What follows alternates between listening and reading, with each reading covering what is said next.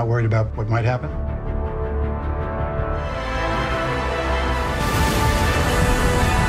Oh my god! I'm ready to come home.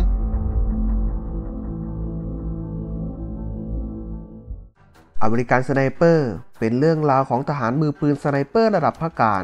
ที่ส่งตัวไปยังอิรัก ท่ามกลางสมรภูมิการต่อสู้ในสงคราม ที่ทุกการตัดสินใจของเขา คือเดิมพันด้วยชีวิต หนังเรื่องนี้มีเค้าโครงมาจากเรื่องจริง เนื้อหาต่อจากนี้ไปเป็นการสปอยและสรุปเนื้อเรื่องนะครับ เปิดเรื่องมาก็อยู่กลางสมรภูมิรบมีมือปืนสไนเปอร์กับคู่หูของเขาคอยสอดส่องดูพวกข้าศึก ไม่ให้มาโจมตีกับพวกที่เข้าไปลาดตระเวน มือสไนเปอร์คนนี้ชื่อคริสนะครับ ต่อไปผมก็จะเรียกเขาว่าพระเอกแล้วกัน ระหว่างที่เขากำลังสอดส่องอยู่นั้น เขาก็ได้พบกับผู้หญิงและเด็ก ที่กำลังเดินทางมาทางกลุ่มทหารอย่างมีพิรุธสักพัก ผู้หญิงได้หยิบระเบิดให้กับเด็ก แล้วก็ได้วิ่งตรงมาทางกลุ่มทหารระหว่างที่พระเอกกำลังจะลั่นไกภาพก็ตัดมาตอนที่เขายังเป็นเด็ก ตัวหนังก็จะเล่าเรื่องราวของพระเอกตั้งแต่ยุคเด็กวัยรุ่นและก็หนุ่มนะครับว่าเขาผ่านเหตุการณ์อะไรมาบ้างก่อนที่เขาจะมาสมัครเป็นทหาร เจอทั้งแฟนมีกิ๊ก จนทำให้เขาต้องหัวเสีย และประจวบเหมาะกับช่วงนั้นมีเหตุการณ์ไม่สงบ ถึงทำให้เขาตัดสินใจมาสมัครเป็นทหาร พระเอกของเรามันก็ได้ฝึกหน่วยซีลจนสำเร็จ และกำลังจะไปฝึกในหน่วยสไนเปอร์ ในระหว่างนี้เขาก็ได้พบรักกับสาวในร้านเหล้า หลังจากที่เขาฝึกสไนเปอร์จนเสร็จ เขาก็ได้แต่งงานกับแฟนสาวของเขา ที่เจอกันในร้านเหล้านั่นแหละ วันแต่งงาน เขาก็ได้บอกกับแฟนสาวของเขาว่า เขาต้องออกไปรบอีก 6 เดือนถึงจะได้กลับมา ตัดมาที่สนามรบอีกครั้ง พระเอกของเราที่เป็นมือสไนเปอร์ ได้รับมอบหมายให้มาคอยระวังหลังให้กับทหารชุดแรก และคอยสอดส่องระหว่างที่ทหารกำลังบุกทีละบ้าน แล้วก็ตัดมาฉากที่พระเอกของเรายิงเด็ก ที่กำลังจะวิ่งเข้ามาปาระเบิดใส่กับพวกทีมทหาร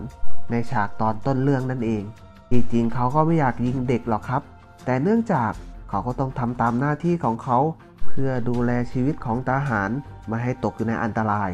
พระเอกของเรานะครับทำหน้าที่ของเขาได้อย่างดีเยี่ยม ไม่ว่าทีมของเขานะครับจะไปที่ไหน เขาก็คอยระวังหลังและคุ้มกันให้ตลอด ไม่ว่าใครจะโผล่ออกมา ไม่มีรอดสักลาย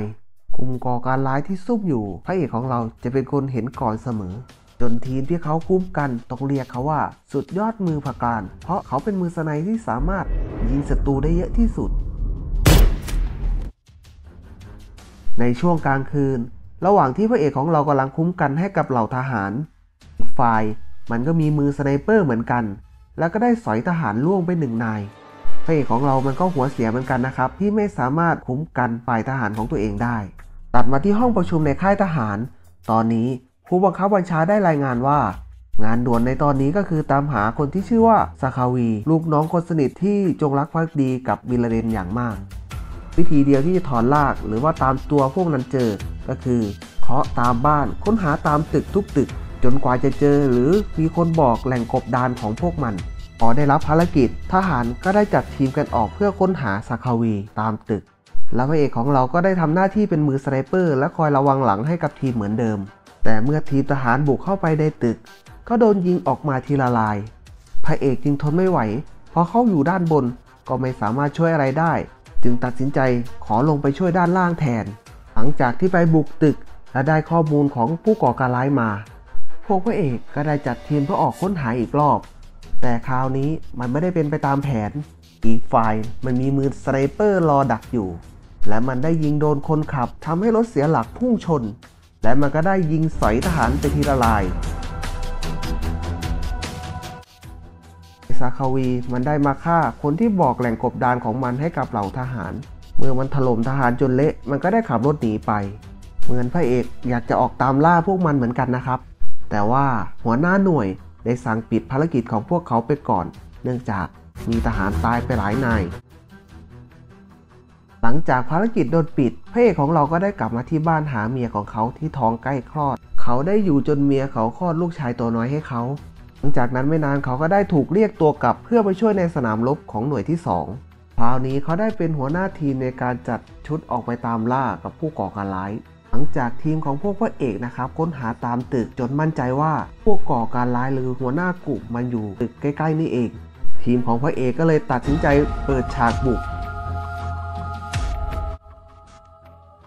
หลังจากที่เปิดฉากยิงกันอย่างสนั่นวันไหวนะครับก็สามารถทลายลังของพวกโจรมันได้ แต่ว่าหัวหน้าของพวกมันนะครับ สามารถหนีรอดไปได้ ภารกิจของหน่วยที่ 2 ก็ยังไม่สำเร็จพระเอกของเราก็ได้กลับมาบ้านนะครับ แต่ไม่นานเขาก็ได้กลับไปทำภารกิจต่อกับหน่วยที่3ตัดมาที่อิรักตอนนี้เราได้รู้แล้วว่ามือสไนเปอร์ของฝ่ายผู้ก่อการร้ายมันคือใคร เขาเป็นนักกีฬาแม่นปืน และได้รับเหรียญทองอีกต่างหากตัดมาที่รถของพระเอกที่กำลังขับลาดตระเวนกับหน่วยที่ 3 ก่อการร้ายมันก็ได้เปิดฉากยิงใส่รถพวกทหารก่อน และได้วิ่งเข้าไปบนตึก พวกทหารก็เลยตามขึ้นมาเคลียร์พอขึ้นมาถึงดาดฟ้า ก็มีเสียงปืนดังขึ้น เพื่อนของพระเอกล้มไปต่อหน้า พวกเขาโดนสไนเปอร์ซุ่มโจมตี พวกเขาจึงต้องพาคนเจ็บถอยกลับไปที่ฐานก่อน แต่ทีมของพวกพระเอกมันก็ยังไม่ยอมแพ้นะครับ กลับมาอีกรอบ แต่คราวนี้เขาก็ต้องเสียทหารไปอีกหนึ่งนาย เหมือนว่าผู้ก่อการร้ายมันจะรู้แผนและวิธีคิดของพวกทหาร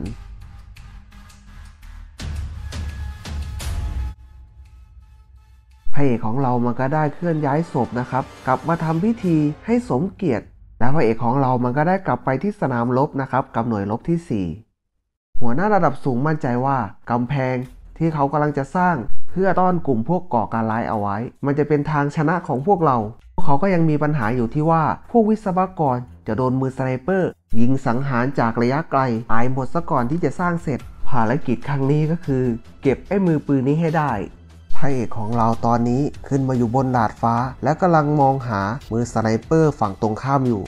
ตัดมาทางสไนเปอร์กลุ่มผู้ก่อการร้าย ตอนนี้สไนเปอร์ก็กำลังเล็งไปที่ทหารที่กำลังสร้างกำแพงอยู่ เขาลั่นไกครับ ปั้ง ไม่พลาด ทหารร่วงไปหนึ่งนาย ตอนนี้พระเอกของเราก็พยายามค้นหามือสไนเปอร์ที่ยิงเข้ามา และพระเอกก็บอกกับทีมว่าเขาเห็นอะไรบางอย่างห่างออกไปเกือบ 2,000 หลา เพื่อนเขาก็บอกว่าอย่าเพิ่งยิง ไกลขนาดนั้นมองอะไรไม่เห็นหรอก แล้วก็กลัวสไนเปอร์ฝั่งตรงข้ามเห็นพวกเราด้วย ตอนนี้ดูเหมือนว่าสไนเปอร์ฝั่งผู้ก่อการร้าย มันก็ได้เล็งมาทางพวกกลุ่มทหารเหมือนกัน แต่ดูเหมือนว่าคนในทีมก็ยังไม่มั่นใจและไม่อยากให้ยิง และก็ให้รอกำลังเสริม ตอนนี้สไนเปอร์ฝั่งผู้ก่อการร้าย มันกำลังเล็งหัวของทหารอยู่หนึ่งนายพระเอกของเรานะครับ ตัดสินใจลั่นไกลในระยะมากกว่า 2,000 หลา ในระยะที่ไม่เคยมีใครสามารถยิงโดนเปี้ยงโดนหัวของสไนเปอร์ฝั่งตรงข้ามเต็มๆ เขาทำภารกิจฆ่ามือสไนเปอร์สำเร็จ แต่ปัญหาอื่นที่ตามมานั่นก็คือ ตอนนี้ทีมของพวกเขาอยู่ใจกลางวงล้อมของกลุ่มผู้ก่อการร้าย ตอนนี้ข้าศึกได้ล้อมตึกที่พวกเขาอยู่ไว้ครบทุกด้านแล้ว หลังจากนั้นกลุ่มผู้ก่อการร้ายก็ได้ยิงเข้ามาอย่างสนั่นหวั่นไหว วกพระเอกต้องยิงกันอย่างแบบประหยัดกระสุน ต้านพวกศัตรูไว้ก่อน และรอกำลังเสริมมาถึง และตอนนี้พวกศัตรูก็วิ่งกลูกันมาอย่างไม่มีหยุดกระสุนของพวกพระเอกก็ไม่พอเหลือน้อยเต็มที พระเอกจึงตัดสินใจสั่งให้ยิงมิสไซล์มาจุดที่เขาอยู่เลย มิสไซล์เข้าตรงเป้านะครับ แต่ว่าผู้ก่อการร้ายมันก็มีเยอะซะเหลือเกิน วิ่งเข้ามากันอย่างเรื่อยๆ เลย ประจวบเหมาะกับพายุทรายโหมกระหน่ำซัดมาอย่างหนัก ทำให้พวกเขาใช้จังหวะนี้ในการถอยหนี พระเอกของเรานะครับ ยิงสกัดไว้ให้ และลงจากดาดฟ้าเป็นคนสุดท้ายทีมของพวกพระเอกนะครับก็ได้วิ่งมาที่รถที่เป็นกำลังเสริมจะพาพวกเขาหนี พระเอกของเราก็วิ่งมาเป็นคนสุดท้ายนะครับ แล้วก็โดนยิงที่ขาล้มลง แต่พระเอกของเราอึดนะครับ โดนยิงไม่โดนจุดสำคัญ วิ่งตามรถช่วยเหลือจนทัน และเขาก็รอด คริสได้กลับมาอยู่ที่บ้าน และก็ได้ลาออกจากการเป็นทหาร และเขาก็คอยช่วยทหารผ่านศึกทุกคนที่เขาพอช่วยได้ คอยแนะนำคอยเป็นเพื่อน และเขาก็ถูกฆ่าตาย โดยทหารผ่านศึกที่เขาพยายามที่จะช่วย